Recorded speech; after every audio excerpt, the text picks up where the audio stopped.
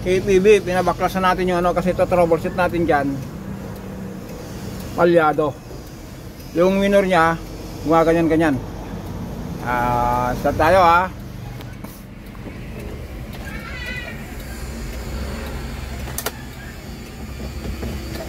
O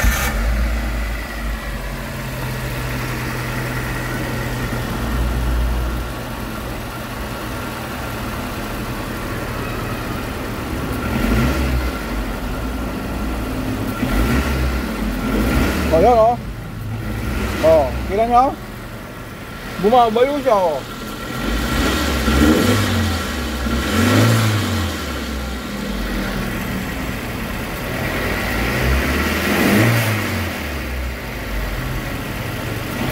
O, nanginginig. Ngayon, kahit siya no, kahit siya naka-idling. Kahit sa idling siya, ano, nanginginig.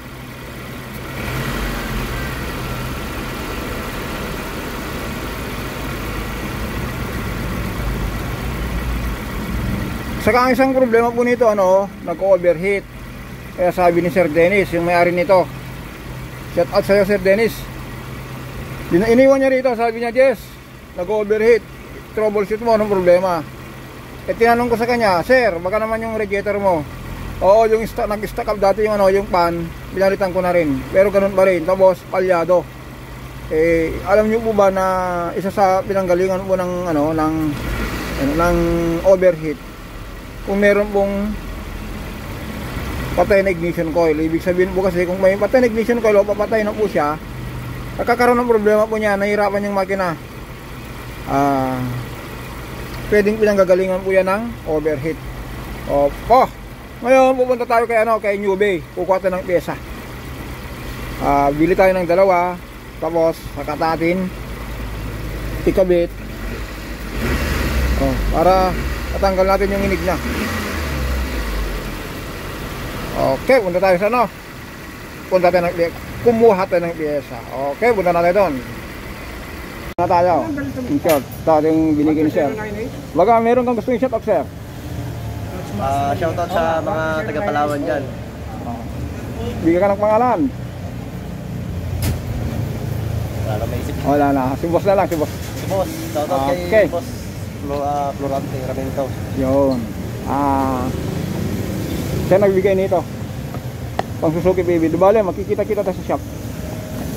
Okay. Wala no. Ah, nakarating na tayo. Yung kinuha natin pyesa kay New Bay, ito na yon. Ah, ito yun oh. Sa inyo po ito.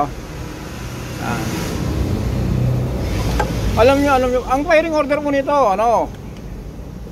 Ah, 1 3 4 2 tapos ang running mate mo 1 at saka 4, saka 2 at saka 3. Kaya ito, sinalwak na natin to. Ganyan. Oh.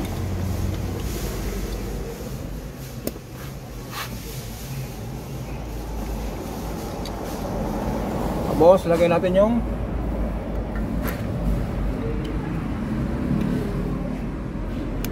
Yan.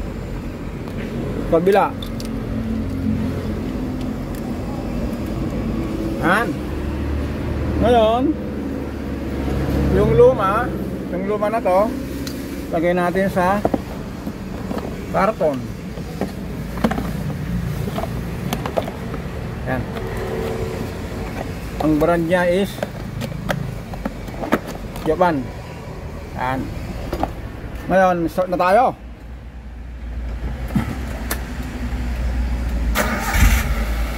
Yun. Ah. Subukan natin kung manginig.